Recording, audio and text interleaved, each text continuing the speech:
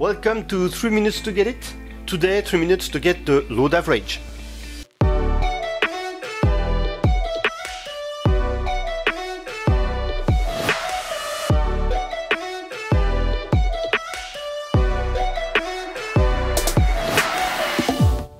So what's the load average?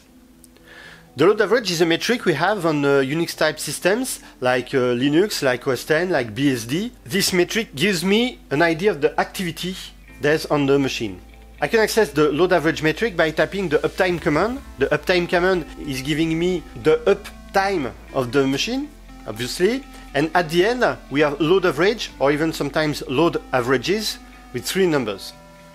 On Linux, it's very common to use the top command to have some information uh, on the machine. And on the top right, we have also load average with three numbers. The load average are those three numbers. Why three numbers?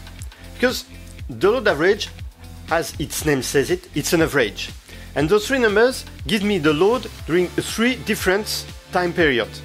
The first number is the load average during the last minute. The second number gives me the load average during the five last minutes. And the third number gives me the, the load average during the 15 last minutes. I even done 15 with two hands. It's important to have those three numbers because it gives me the way it goes does my load average is going up? Does my load average is going down? I can say that by looking those three numbers. If the numbers are uh, one, two, three, I know that the load average is going down because during the last minute it was one, during the five last minutes it was two, and during the 15 last minutes it was it was three. So I know that it's going down, but that doesn't give me the information what is the load average. To understand what the load average is, we have to understand how a CPU is working on those systems. When there is a program, when there is a process that wants to run, it goes into a queue and the CPU see there's a process in the queue and let it run in the CPU. When there's two processes in the queue, what it does that it takes the first process, let it run in the CPU, then froze the CPU.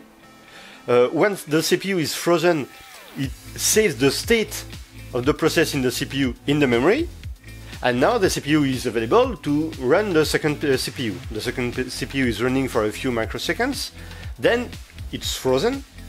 The state of the CPU is saved into the memory, and into the CPU we restore back the first process that was saved previously, and the first process continues to execute itself. So we are going back and forth with those two processes in one CPU. When there is a third process that wants to run, a third process is going to add itself into the queue where there's the first and the second one. And then the system will take the first process, let it run a few microseconds, save it, run the second one, save it, run the third one, save it, run the first one, etc. etc.